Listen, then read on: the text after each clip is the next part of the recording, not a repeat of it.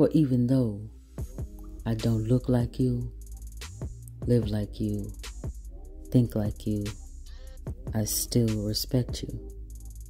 What you do and the way that you do it, together or not, history runs through it.